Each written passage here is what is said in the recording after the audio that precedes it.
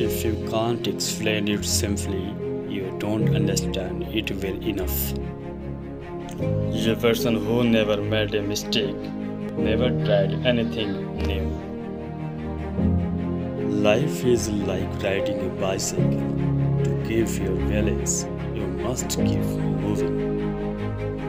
We cannot solve our problems with the same thinking we used, then we created them. Strive not to be a success, but rather to be of value. Look deep into nature, and then you will understand everything better. Weakness of attitude becomes weakness of character. Only two things are infinite the universe and human stupidity, I am not sure about the former.